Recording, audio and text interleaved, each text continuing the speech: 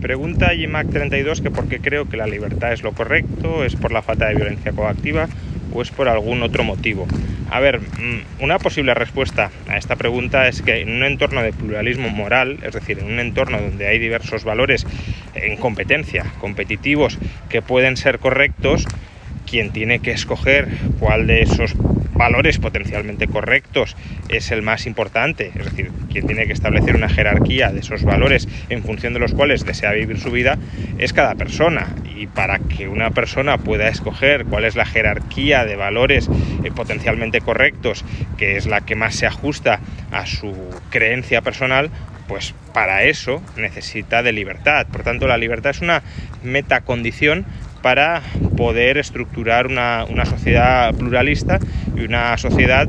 donde exista diversidad de valores morales. Y, y por tanto, ya digo, incluso aunque no creamos que la libertad es objetivamente el valor superior que todo el mundo debería compartir, y, y no es una posición que yo,